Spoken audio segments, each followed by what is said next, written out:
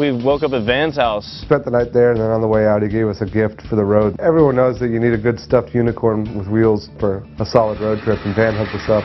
Our plans got changed up a little bit, but we ended up at a little skate park underneath a bridge. It was a mellow but real fun session. Swyers killed everything, as usual. Holladay was doing some real badass wall rides and foot plants on the wall, and just a real good mellow time, you know, meeting up with some friends there.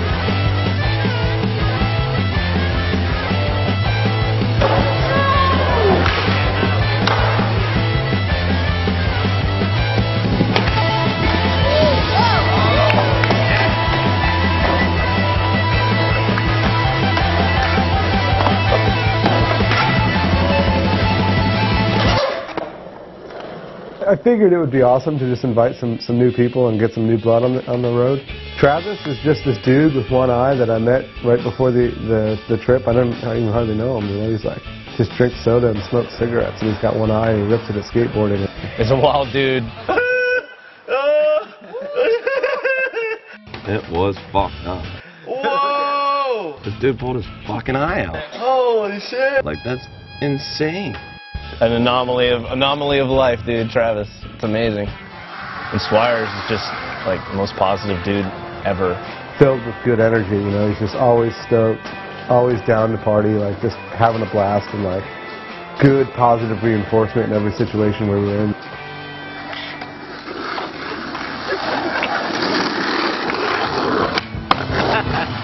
Loitering in front of the skate park for like three hours was way funner than the hour we skated inside the park.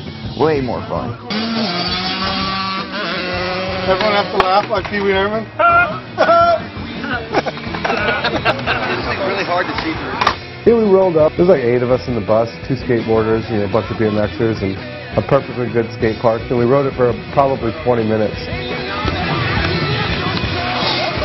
The unicorn is just going down the hill, and We tried to do doubles, and that, that horse is not up to the task.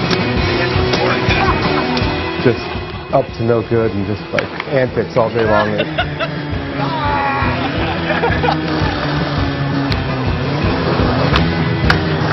Swyers is ollieing a broken unicorn bike with an Ernest mask on. And the Domino's guy pulled up and got all excited about it. The pizza guy pulls up. And the guy was like so stoked to run over the unicorn head, which which made me stoked. I was like, yes, dude. The scene out in the street was just so hilarious, you know, like, you know, Latin A Holladay are, are riding over like this guardrail that they'd smashed over and this pole jam, and Pizza Guy just keeps coming back for more. He was just so stoked.